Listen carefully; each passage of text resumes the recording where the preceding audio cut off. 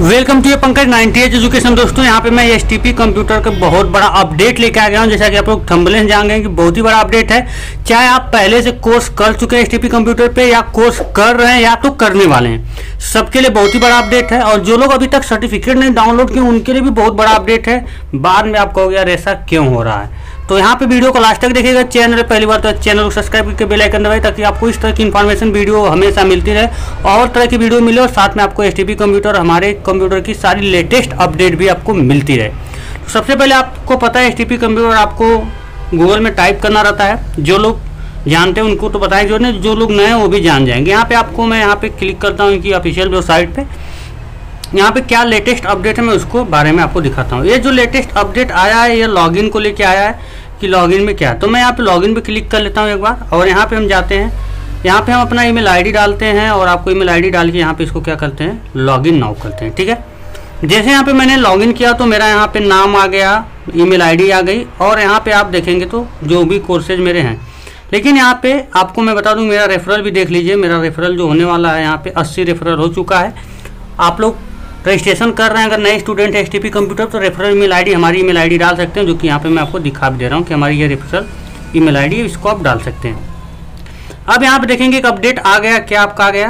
Profile not complete जो लोग पुराने स्टूडेंट उनको पता होगा कि ये पहले नहीं था। जितना आप डिटेल बाहर भरते थे, उतना था, अंदर ऐसा कुछ नहीं था। लेकिन अब आ गया प्रोफ़ाइल नॉट कंप्लीट कंप्लीट और प्रोफ़ाइल नीचे आपको ऑप्शन आ गया कंप्लीट और प्रोफ़ाइल अगर ये कंप्लीट नहीं करते हैं तो आप अपना सर्टिफिकेट डाउनलोड नहीं कर पाएँगे। इस बात का भी ध्यान रखिएगा। तो डाउनलोड करने से पहले आपको प्रोफ़ाइल को कंप्लीट करना होगा हाल हाल में।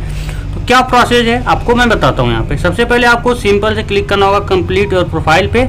आपके सामने इस तरह की पॉपअप विंडो आएगा जिसमें आपका नाम होगा फादर्स नेम होगा।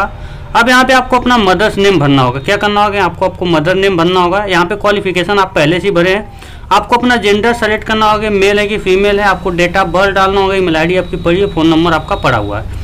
अब यहाँ पे आपको एड्रेस डालना है। आपका अपना फुल एड्रेस डालना होगा। और यहाँ पे आपको आपको अपनी कंट्री क्या करना होगा? चूज़ करना होगा। आप इंडिया से हैं कि इंडिया के बाहर से आपको स्टेट चूज़ करना होगा आपको। और यहाँ पे आपको सिटी चूज़ करना होगा, ठीक है? और उसके बाद आपको अपना पिन कोड डाल के क्या करना होगा, यहाँ पे सबमिट करना होगा। तो मैं सारी डिटेल डाल के यहाँ पे सबमिट करता हूँ, क्योंकि मैं सारी चीज़ आपको दिखा नहीं सकता।